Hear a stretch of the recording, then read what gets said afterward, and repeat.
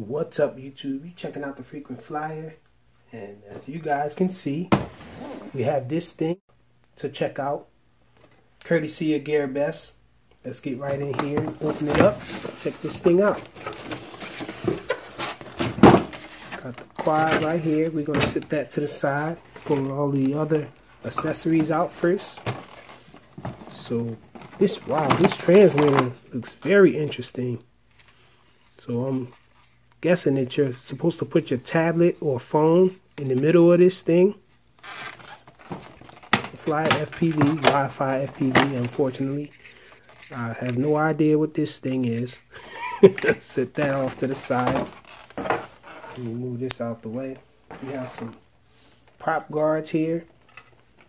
It's a set of spare props. That seems to be taped to the inside of the box. Along with this USB charging cable taped to the inside of the box. And underneath everything, we have the instructions manual. Little booklet explaining how to set this thing up. Most likely. And let's try to free this quad from here. Looks like I might need the blue alien. Some little zip ties on here.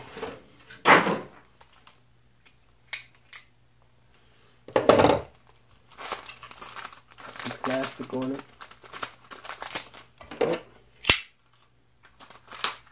Plastic off it.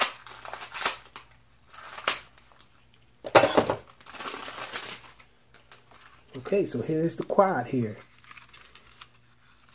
Different design, I can see that. Looks like the on and off button is here on the top. Let's see, this is a proprietary battery. Oh, hope I didn't break it. so this is the battery here.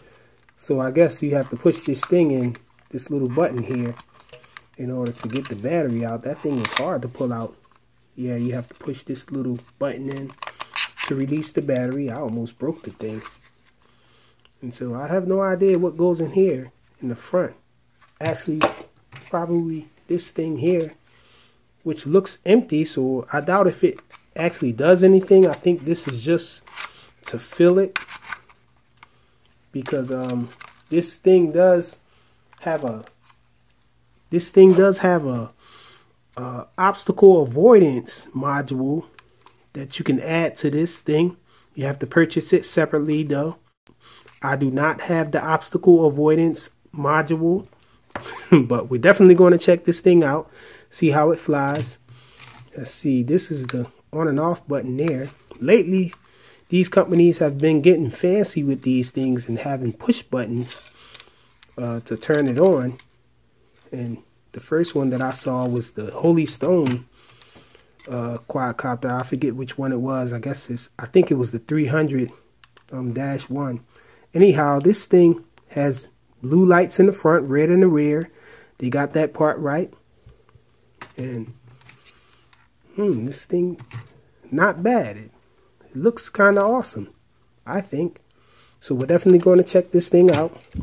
We're going to take it through its paces and we're definitely going to have a night fix with it and a morning fix maybe a quick review or ultimately a full review. Thanks for watching